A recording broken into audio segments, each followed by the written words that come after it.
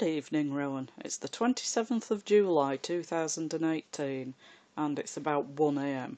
And obviously this is my usual Friday evening video, being recorded in the early hours of Friday morning, to reassure you that I won't be seducing any priests over the weekend.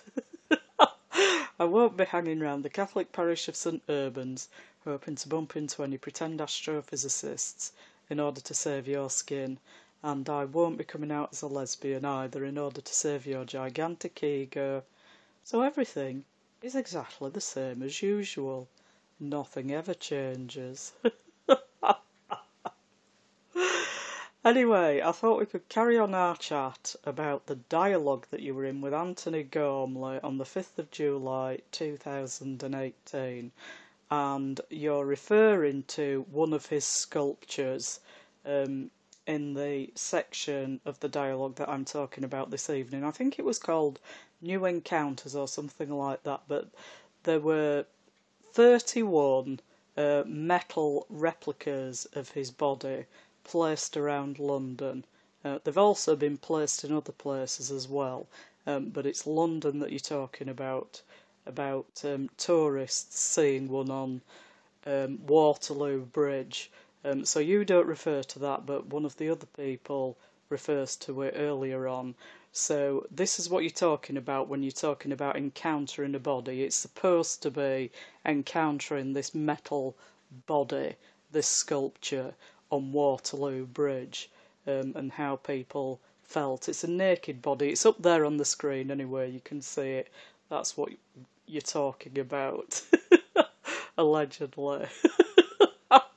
Anyway, so you like talking about bodies, don't you, and nakedness and that kind of thing. It does feature um, in your, uh, I don't even know what to call it, monologue, dialogue, rhetoric. You do seem to refer a lot to bodies and nakedness and being stripped and all this kind of thing. It's all a bit perverse. so anyway, you're in your element here, talking about this body. So you say this is in relation to a question um, I think from the audience. I've forgotten now. It's that long since I wrote this down. Well, earlier today, uh, since I wrote down this transcript. Uh, but you refer to a question anyway. So you say, and your question about the theological dimension prompted me to think about the strange fact. I don't know why this is a strange fact. but anyway, your question about the theological dimension prompted me to think about the strange fact that for most of Western history, um, one of the central images has been of a wounded, vulnerable, and naked human body. this is so funny. It's a, a funny way um, of talking about the crucifix, really, to be focusing on those elements and uh, not talking about redemption or salvation or anything like that, just talking about um, a wounded, vulnerable, and naked human body. Uh, you're trying to bring it into the material, aren't you? So um, the crucifix has a significance in uh, the spiritual world in eternity in relation to redemption and salvation, and you are simply trying to bring it into the temporal by referring to it in these material terms. Uh, so that's quite interesting as well. You do do that quite a lot. I think I've mentioned that before, um, how you do try to bring the spirit the spiritual into the material. Not that the two aren't related to each other, but you seem to emphasize this to the detriment of that other dimension of it, that of eternity and salvation and God being transcendent. I think when you talk in this way, um, it represents a denial of the spiritual realm of eternity and this is a promotion of the goal of the New World Order to bring about a one world religion of environmentalism and earth worship. So we need to bring everything into the material. and there is no eternity. We're just part of the earth, and the earth is our mother, and we can't scratch the surface of the earth. And I think this is the thrust where everything is heading um, this denial of the spiritual implication of the crucifix. You're just talking about it in material terms. so it's a funny way to talk about it a wounded, vulnerable, and naked human body. Um, so this is a strange fact that for most of Western history, well, for 2,000 years, that isn't most of Western history, is it? Because there was history before that, a long time before that as well. Um, so it's not most of Western history. Uh, so for most of Western history, one of the central images has been of a wounded, vulnerable, and naked human body, as if, in all sorts of different buildings and structures and contexts of meaning and activity, our attention has been very, very quietly, but very obstinately, directed back to that as a place we can't escape from. Um, so that's quite interesting that you seem to think that you're presented with a crucifix and that's a place that you can't escape from. Um, because if you're a Christian, the crucifix or the the cross of Christ anyway, uh, the death of Christ on the cross, it's not a place you want to escape from, but rather a place you want to escape to. so it's funny that you see it as something that you need to escape from. Satan needs to escape from the cross as well, uh, which brings about the defeat um, of him, of Satan, and the salvation of humankind, of those um, who don't reject Christ, like you have rejected Christ. Um, so that's quite interesting, really, that you talk about the crucifix in this way. Um, the image of a wounded, vulnerable, and naked human body, and as being something that you can't escape from. Well, why would you be wanting to escape from it if you're supposed to be a Christian. That's quite strange, really. So, so um, our attention has been very, very quietly and very obstinately directed back to that as a place we can't escape from the vulnerability of a body in which, for a Christian, God has met us. So the way that you say this for a Christian, God has met us, that's quite strange as well.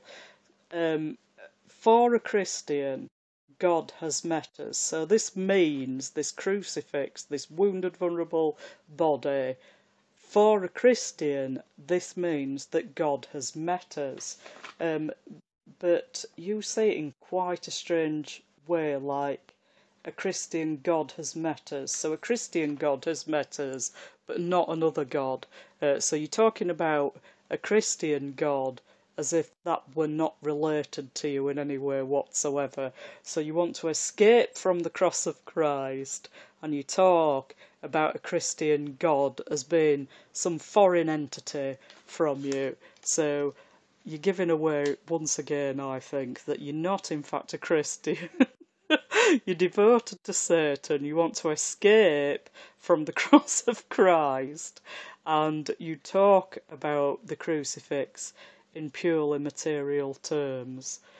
Um, so you then say, when we are living, as Antony says, in an environment where constantly, increasingly dealing with man made structures and products. Uh, there's some other talk in this dialogue, by the way, I'm just interjecting this, about the fact that the majority of people live in cities and that's due to increase in the future. So, this is what you're referring to here.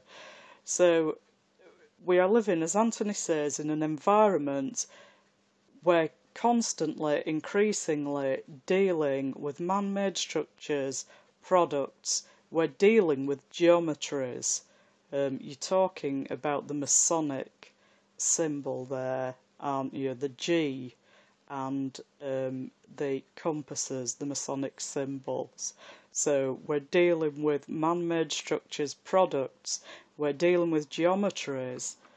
How does that, what's the contemporary equivalent of having the crucifix in every room?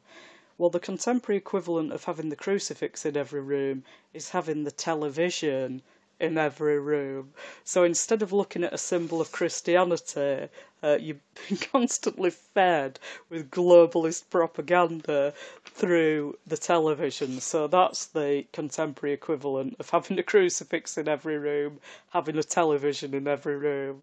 So, what's the contemporary equivalent of being reconnected with that inescapable materiality? so, the inescapable for you is that you're not going to get the outcome that you want from this situation, no matter what lengths you go to in employing sophistry. Uh, you, I think you think of yourself as a kind of sorcerer, don't you? I may have mentioned this before, maybe not in these terms. I can't remember now. It's getting quite late. and I'm wanting to be going to sleep to be dreaming about my beloved as soon as I can. Um, but you seem to employ words like you think they're going to if affect um, the material world. Like you only have to say something and it becomes real. So you're imagining, you're speaking, creates reality. Except it's not reality, it's merely your imagination. and I'm not going to be swayed by anything that you say or do. so, what's the contemporary equivalent of being reconnected? So, we're not being reconnected, and I'm not being reconnected with any perverted pretend astrophysicists either.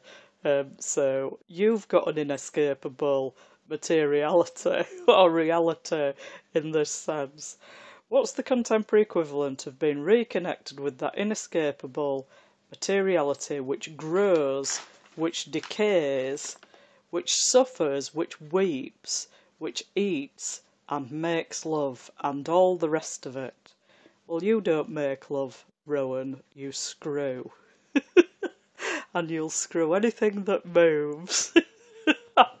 you just use other people to masturbate with um, because you don't have any concept of other human beings having an identity and rights and that kind of thing. You speak about it because you know it sounds good to other people, um, but as I've mentioned many times before, you're a psychopath, and other people are simply objects in your environment, and you judge them based on whether they're useful to you or obstructive to you. Um, so you don't make love, you're incapable of such a thing. Um, you're not even capable of fornication, you're only capable of masturbation, and you use other people's bodies to masturbate with, and you're not using mine, you sleazy old pervert. um, so, this inescapable materiality which grows, which deca- decays, uh, which suffers, which weeps, which eats and makes love, and all the rest of it. And then you leave a pause and you say, and which dies. Um, so I don't know if you're alluding to your intention, your probable intention to pop your cyanide pill um, if you can't escape the inevitable outcome, um, which will result from the fact that I'm not giving you what you want, and your words don't, in fact, have the power to influence reality. so you then say, um, so I think there is a theological way of looking at that too, and the surprise encounter. You start sounding really weird when you're saying this, I have to say. And the surprise of encounter, you're talking astrophysically, aren't you? Um, close encounters of the third kind. So I think there is a theological way of looking at that too, and the surprise encounter, which has been so well described, the surprise of encountering an image of a body. The way that you say body, it makes it sound like you're talking about a dead body. The surprise of encountering an image of a body where where you're not expecting it. A body which is questioning you as bodies do. I mean, that's just complete nonsense. Bodies questioning you as bodies do. You're utterly insane. this is more Jabberwocky. I think um, you may be issuing death threats to me as well. well, go ahead. What are you threatening me with? Heaven. and how many million times have you done that before anyway? And where did it get you? Nowhere. A body which is questioning you as bodies do. There's, uh, you know, there's a real spiritual um, trigger of some sort here. This is what makes me think um, you're issuing me with a death threat. Why don't you just get on with it, mummy's boy? Come on, bring it on. I wish you would kill me, it'd be a relief. Anyway, that's as far as I'm going in this dialogue this evening because obviously I shall be going to sleep as soon as I can. I'm not even sure if I'm going to compile and upload this video this evening because I'm very tired. I've been quite busy today and um, as I've said, I need to be dreaming about my beloved and his magnificent feet and how we just can't wait to be together on our bed of roses, on our silk sheets, having a really good time in each other's arms resisting tyrannous authorities. And of course, your wife will be doing exactly the same with her hot, sexy Rastafarian boyfriend the moment that you're out of the picture. But before all of that, I shall be turning up to make a citizen's arrest for terrorism, so don't forget to be alert. And of course, I've still got those awkward questions up my sleeve to be asking you. Hasta la próxima. And your question about the, the theological dimension. Um,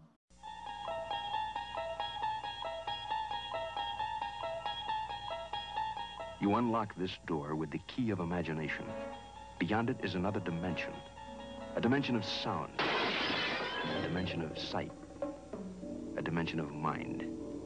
You're moving into a land of both shadow and substance, of things and ideas. You've just crossed over into the Twilight Zone.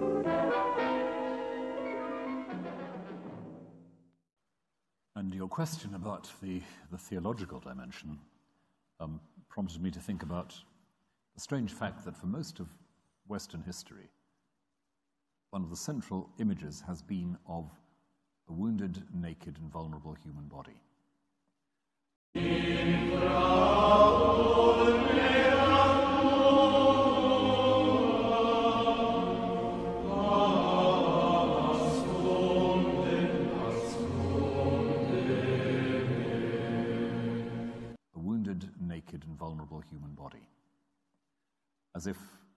All sorts of different buildings and structures and contexts of meaning and activity, our attention has been very, very quietly but very obstinately directed back to that as a place we can't escape from. I know dark clouds.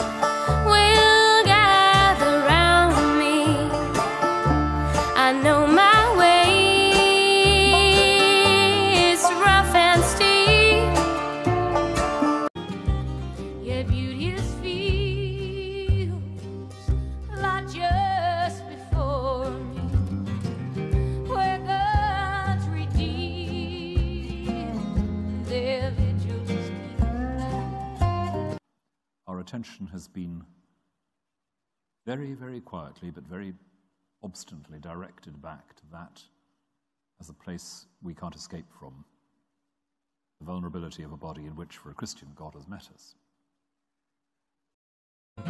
I'm going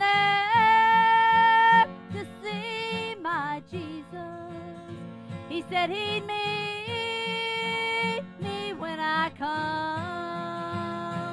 I'm only going over Jordan. I'm just going over home.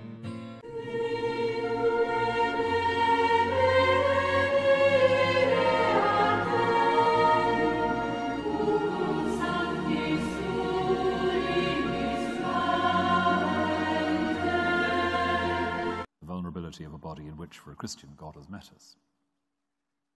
When we are living, as Antony says, in an environment where we're constantly, increasingly dealing with man made structures, products, we're dealing with geometries.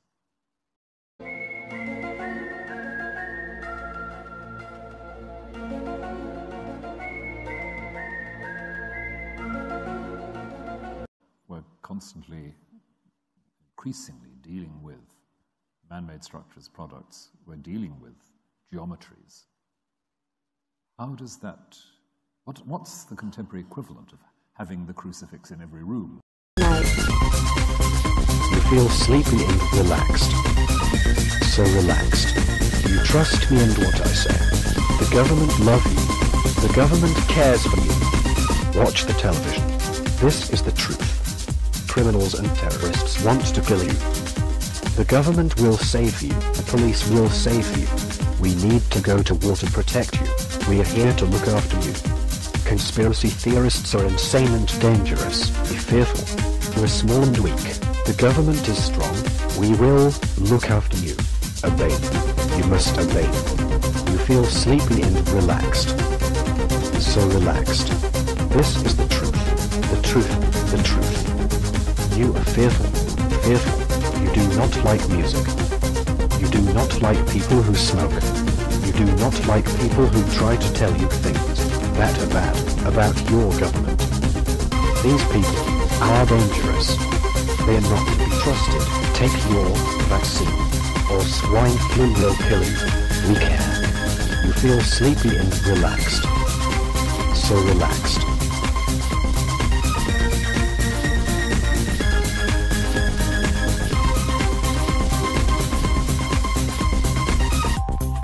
The electro frequency to 1094, targeting the United States at 72 Hz, and the European continent at a slightly lower 68. The rest of Earth on the standard frequency. What's the contemporary equivalent of having the crucifix in every room? What's the contemporary equivalent of being reconnected with that inescapable materiality? Now he's caught a nasty sort of person.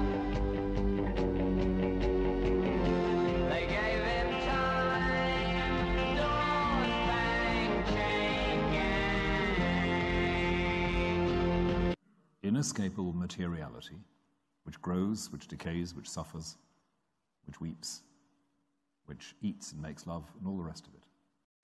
Sex with strangers behind your partner's back is exciting.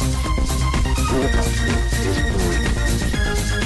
Your partner is cheating on you, does not love you. You are worthless and not worthy of being loved at all. You feel sleepy and relaxed. So relaxed. which eats and makes love, and all the rest of it, and which, which dies.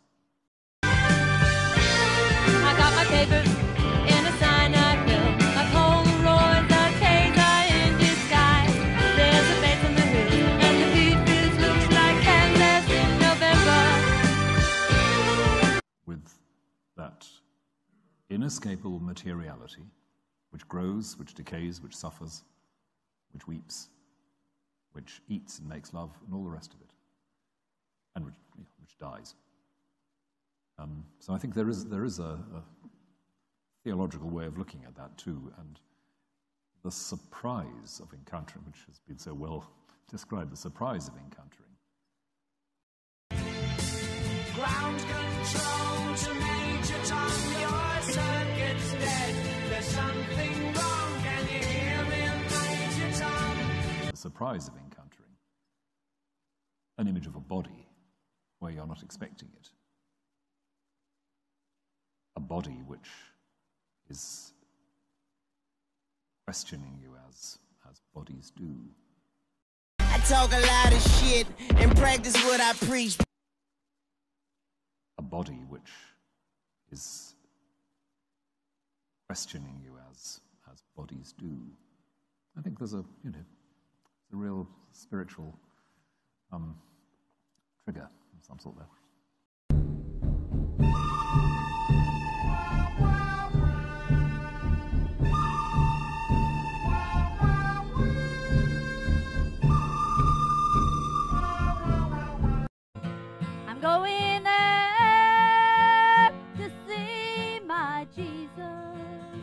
He said he'd meet me when I come. I'm only going over Jordan. I'm just going.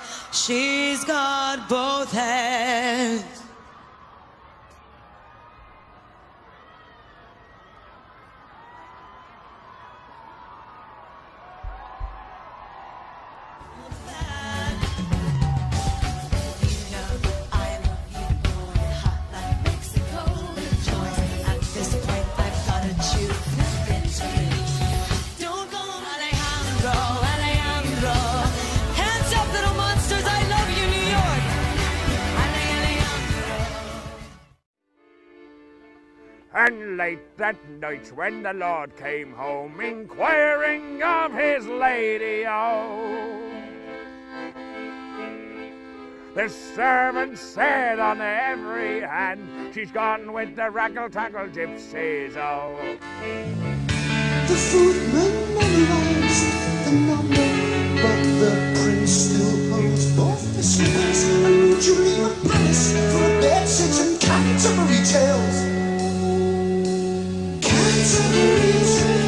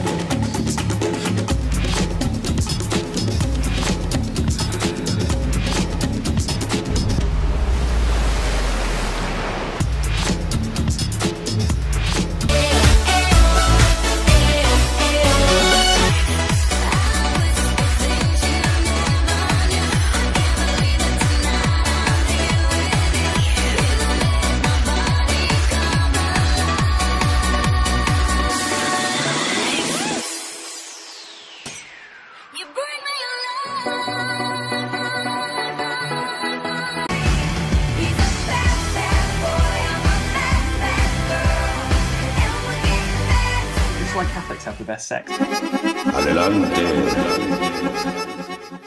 Oh, what care I for my house and my land? What care I for my money? Oh, I'd rather have a kiss from the wild gypsy's lips. I'm away with the raggle taggle gypsy. away with the raggle taggle I'm gypsy, with the oh, raggle- oh. I'm away with the raggle taggle gypsy. Oh.